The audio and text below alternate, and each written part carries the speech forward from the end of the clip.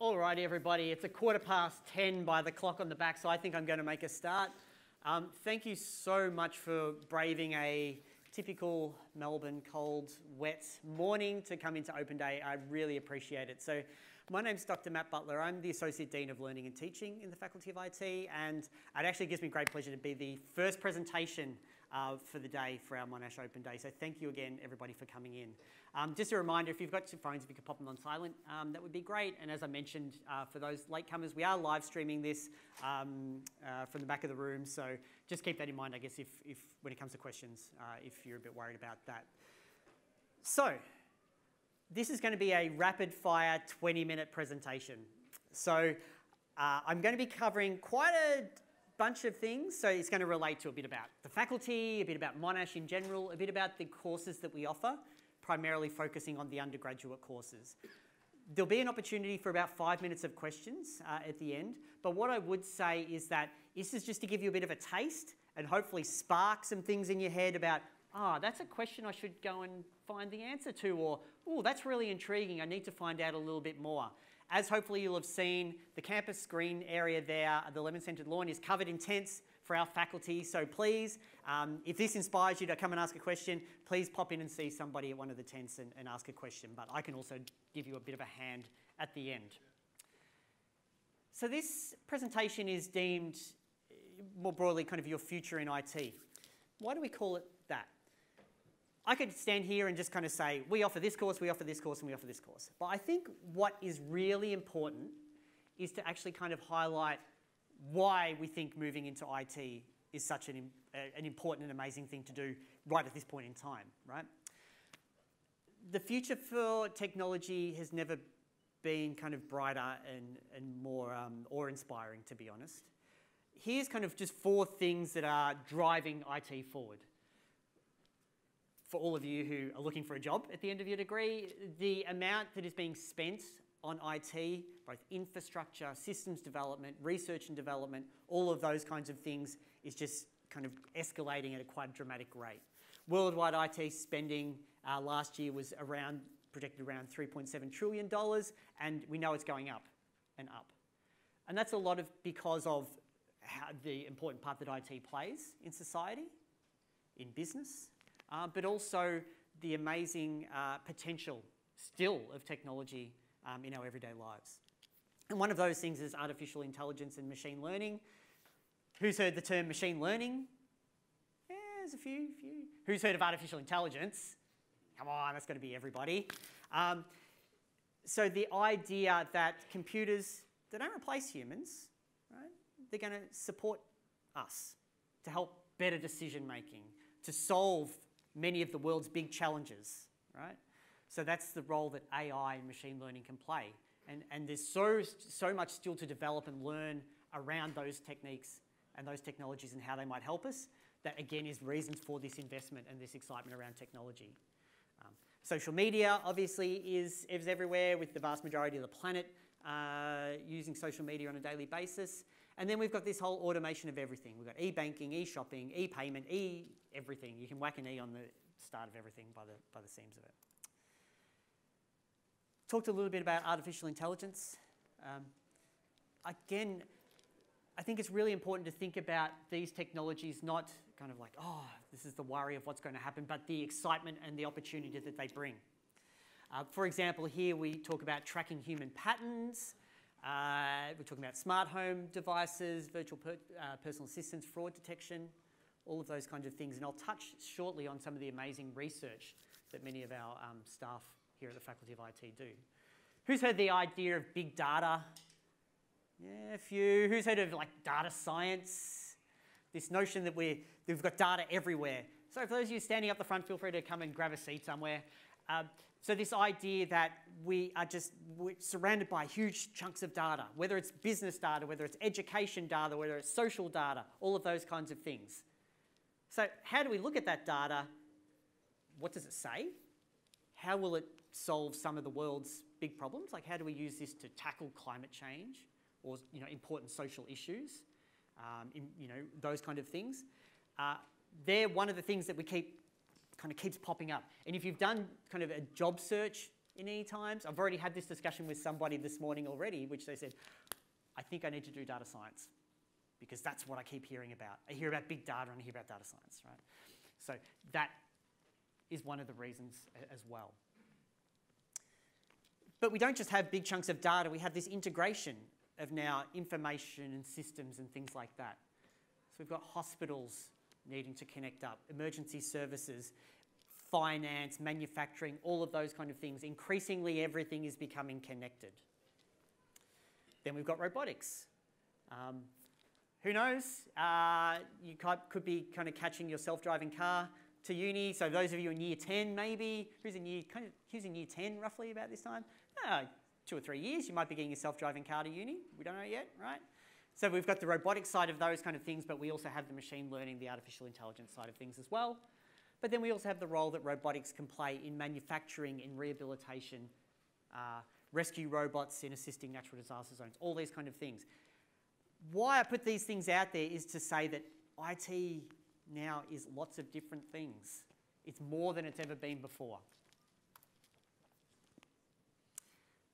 To the slide that lots of potential students like, lots of parents seem to like as well, around the role that, or the spot that the IT industry kind of plays in, in industry these days, with it's one of the highest salary averages in Australia. So, and that continues, continues to kind of keep going, especially as we have these roles like data scientists, people who have expertise in AI, other systems development. I mean, everybody wants those people, right? And that's what drives the salary up. So being part of information technology in, leaves us in a fortunate position, not only because the grand challenges that we have to solve are so amazing and so fascinating, but also that we can get paid pretty well to do that as well, which is really nice. Lots of different types of uh, IT jobs uh, keep, continue to go up.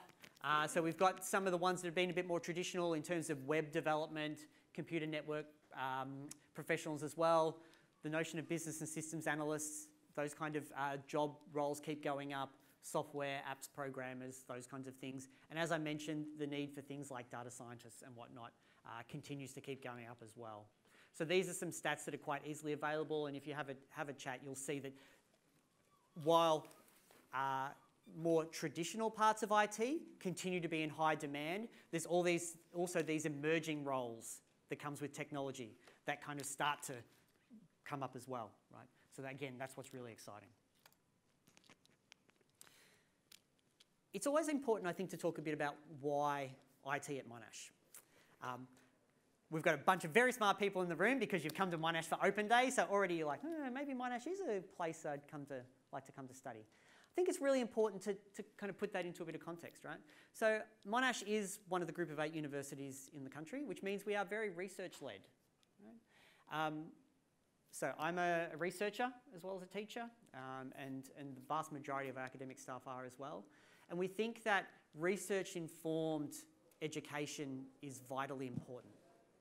I've just talked a bit about the emerge, some of these emerging aspects that are coming through. A lot of those need researchers to drive the innovations, and then if we've got researchers who are also educators, that starts to creep in and really inform our education practice. So that's what we mean by world-renowned academics and researchers.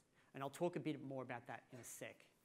Um, we've got accredited undergraduate degrees by the Australian Computer Society, so it's not just a bunch of kind of crusty old academics, I guess, saying this is what we think is important.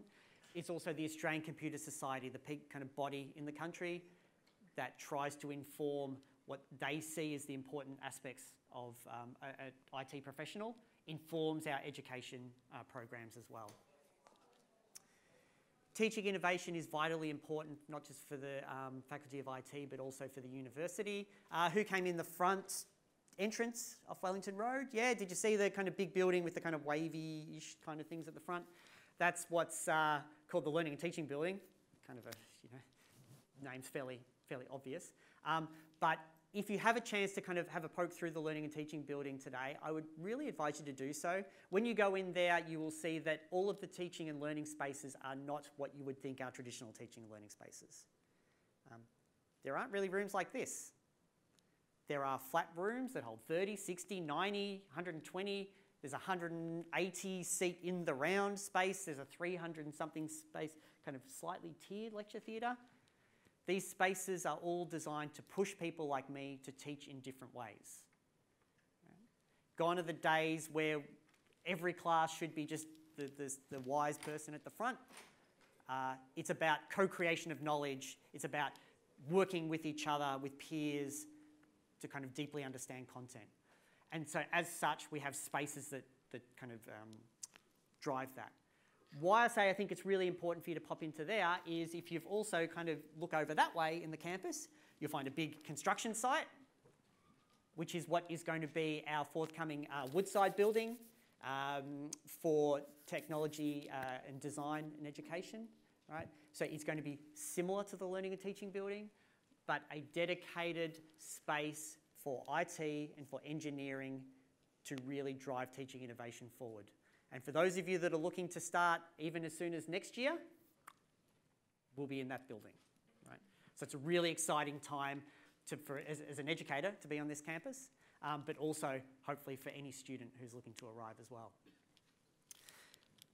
The industry experience opportunities that we have as part of the Faculty of IT are huge, and I'll talk a little bit more about our industry-based learning uh, program shortly.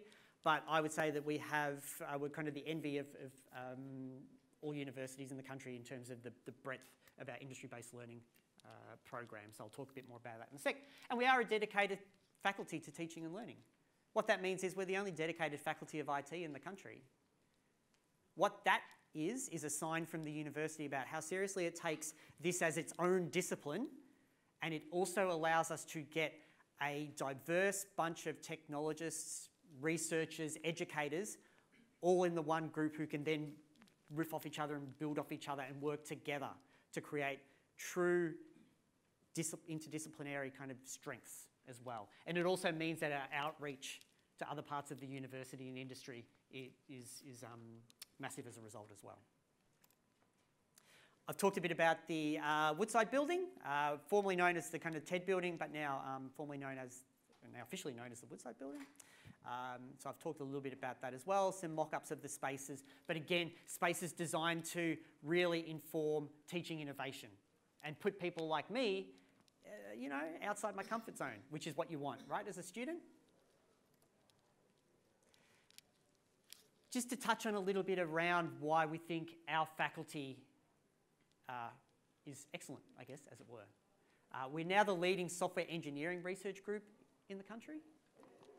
Right. So we have a Bachelor of Software Engineering that we teach with engineering, and our researchers are the envy of the country, if not the world, in terms of um, the research that we've got happening there.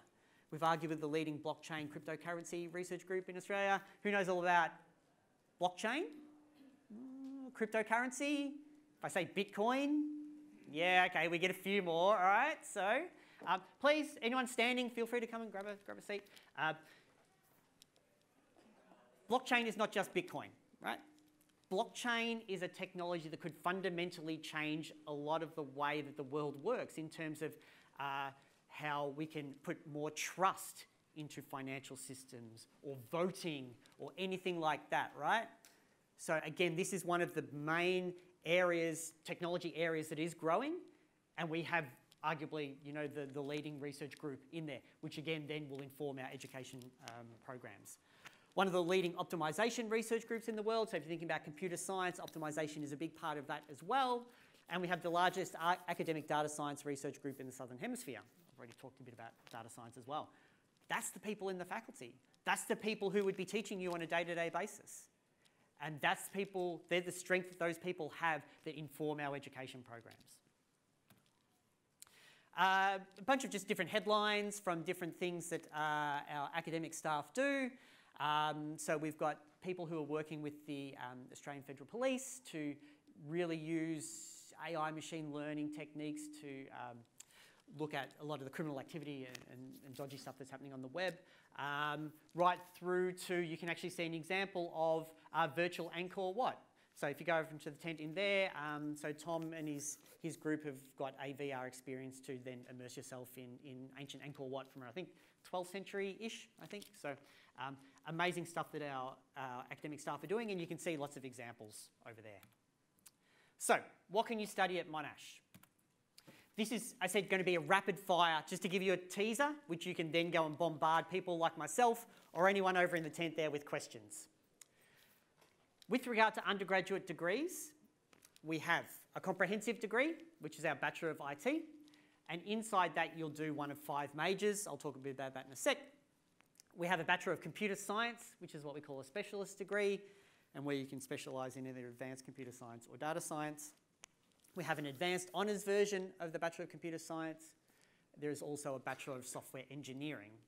And also kicking off next year is our Bachelor of Applied um, Data Science, which is co-taught with the Faculty of Science. So just a quick bit, a bit about the Bachelor of IT. I often get asked what's the difference between Bachelor of IT, a Bachelor of Computer Science and a Bachelor of Software Engineering. Here is the really uh, short, pretty factually correct, but a bit fuzzy kind of thing around how to differentiate those. I, I like using Google Maps is not a bad example, right? So let's, everyone knows Google Maps or some kind of maps thing, right? Okay, if I am a computer scientist, what I'm probably solving with Google Maps is how are we doing the routing? How am I going to make sure that when somebody says, I need to get from home to Monash Clayton, I'm going to get them there in the fastest way possible and I'm going to understand all of the constraints that exist around traffic and around, or the public transport or whatever. And I understand all of those things and I'm going to do some kind of route optimization to get you there the quickest. That's something a computer scientist might do in there. The next thing is, well, we need Google Maps to run at scale for millions and millions of users on mobile, on desktop, tablets, all those kind of things. We need to perform optimally. That might be a bit of a software engineering problem, right? We're talking about a big, large scale system that has to deal with many parts and things, and we're talking a bit about hardware and a bit about software, about making sure that runs well. Right? At scale, it's a bit of a software engineering problem. Interface, we need to make sure the interface is intuitive. That again, it it's, looks good and works well on mobile, um, on desktop, all those kind of things. That could be a bit of a software development type challenge. Could be a bit more of a Bachelor of IT challenge.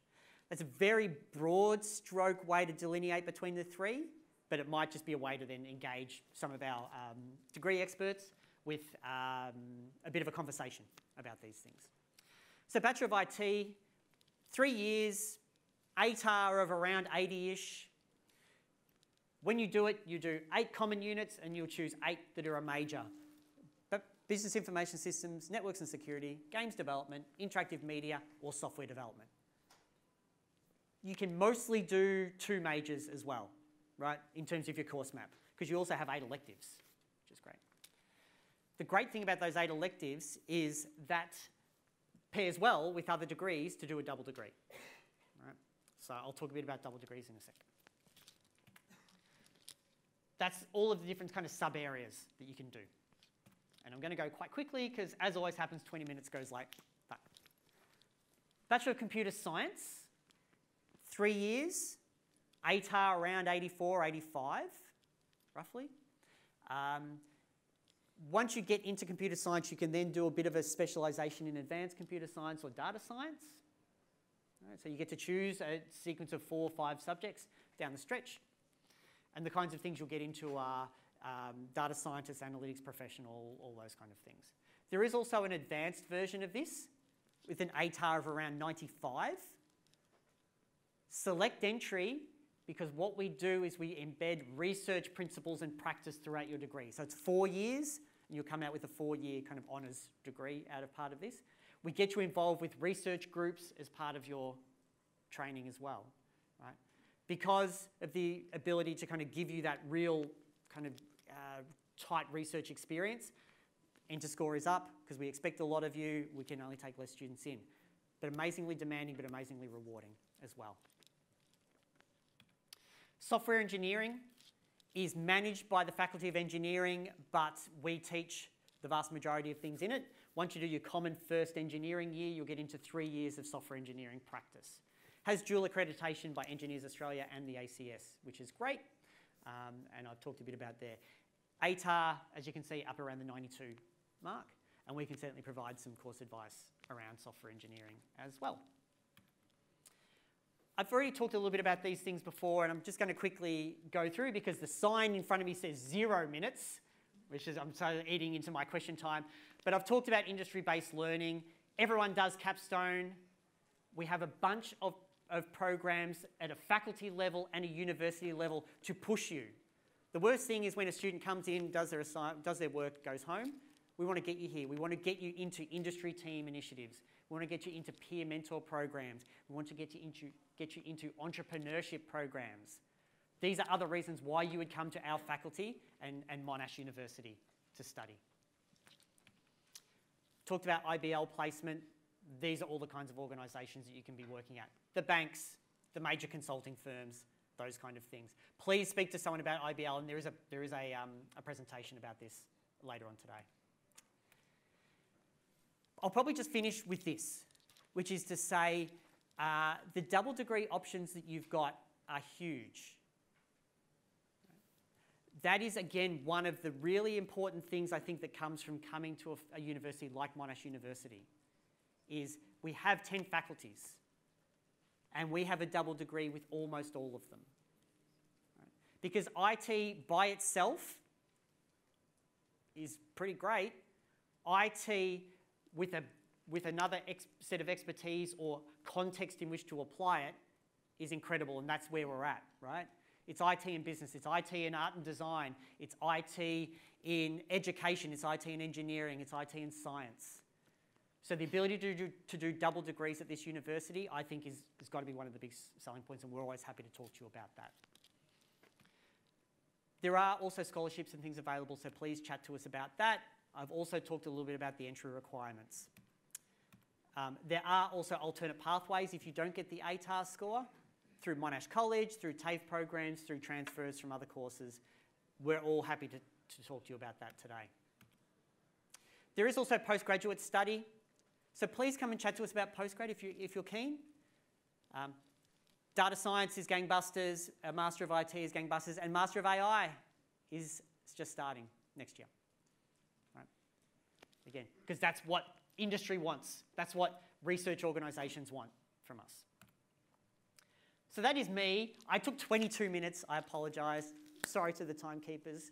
Sorry to the dean, who's. I haven't eaten your time yet, John. It's okay. I've got some time probably for a handful of questions, and I think we've got a few roving mics. So um, I'm happy to talk individually, but um, any questions? Yep. Yes, um, I noticed that there's a major called um, game development under the Bachelor of Information Technology. Yep. And may I ask what is the difference between game development and game design? Because many students will have a confuse about it. Yep. Okay. So it's almost like I planted you in the audience because games is my area that I teach into. Um, so I would say that our view on games development in this faculty is games development at a much more technical side. Less so at the artistic side, but I'll put a caveat in there as well. So our games development major, you will do three slash four levels deep of C++ programming. You'll do AI programming. You get pretty heavy into that kind of thing, right? You also do foundations of 3D modeling. You also do game design, fundamental game design, which I teach, which is no technology. It's all pen and paper and cards and dice and all kinds of craziness, right? But we focus more on the technical side of things.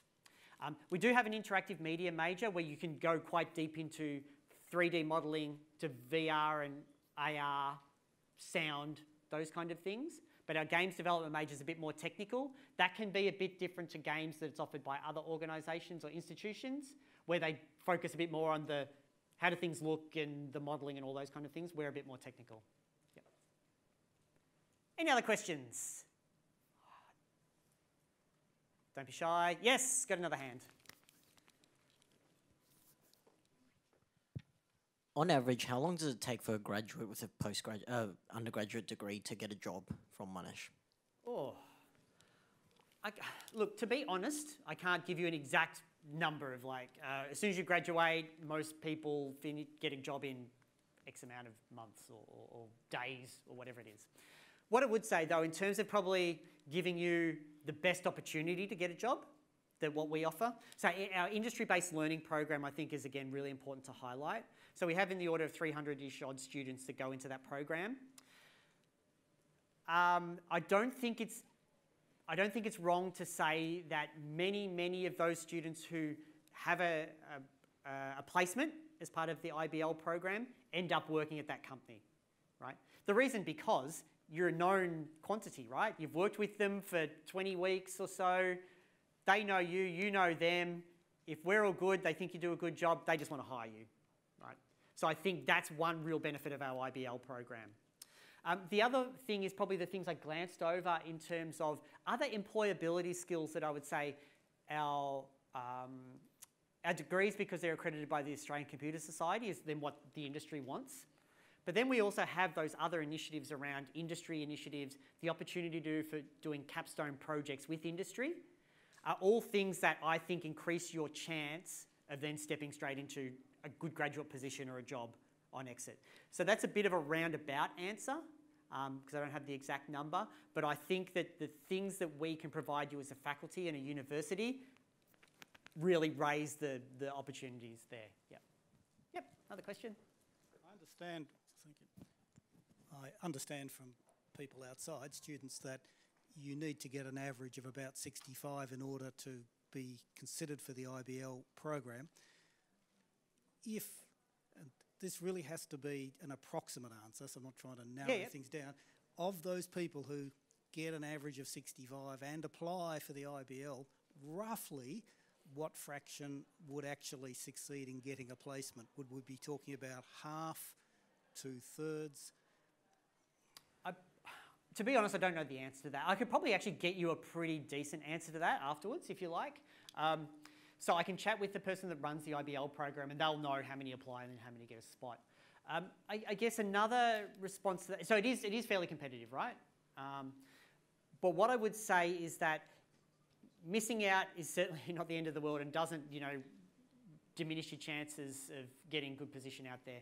All of our capstone projects engage industry to varying degrees, right? So if you don't get into the IBL program, that doesn't mean you don't get exposed to industry you get exposed to industry through your capstone third year project. So um, that's a roundabout answer, and we can get some, some better hard and fast numbers. But um, what I would say is that IBL doesn't chop that off. So, yeah.